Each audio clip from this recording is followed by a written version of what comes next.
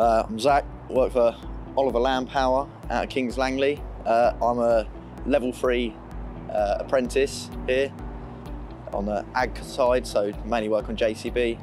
I was good at school, I was all right academically, but I always preferred doing stuff with my hands and sort of, you know, being hands-on because that's the, one of my best ways of learning because it just sinks in better. Mum had horses, I used to be up a farm with the tractors and everything, and then one of the customers um, of here, I used to help him with his tractor and then sort of was going through school, helping him more and more, getting more involved in the industry. And then uh, I ended up coming here a few times and then an engineer actually come to our depot from another dealer and I was talking to him about it. And uh, when I sort of got to finishing school and looking where I would be going, I called up Oliver's and uh, yeah, they asked me to send me CV. I always sort of knew I wanted to do an apprenticeship because um, it's more hands-on, like I say. I couldn't be dealing with being sat in a classroom doing my A levels and then maybe doing a uni degree or something like that. Here I'm getting paid, I'm learning, all in one, gaining experience in the field. You're talking to customers every day, you're talking to them on the phone, you're building a relationship with a customer. If you're a normal engineer and you might be sat in a workshop, not talking to customers directly, not helping them out, you know, here it's important to have a good relationship with the customers and talk to them. And that's just what makes the job so much better because you've almost got friends in your customers.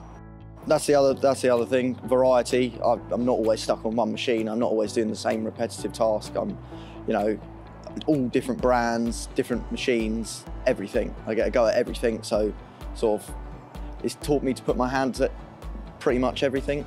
Well, going to college, you sort of fine tune some of the things you may have learnt in the workplace. Obviously, most learning does take place in the workplace because um, you're hands-on, learning off of people that have been doing it for years, so they know all the little tricks. But then, just you know, your measurements, your calculations, and you know, I did an engine rebuild at college, and the tools you'd used haven't necessarily been able to use them here because we haven't had the opportunity because the machines haven't broken.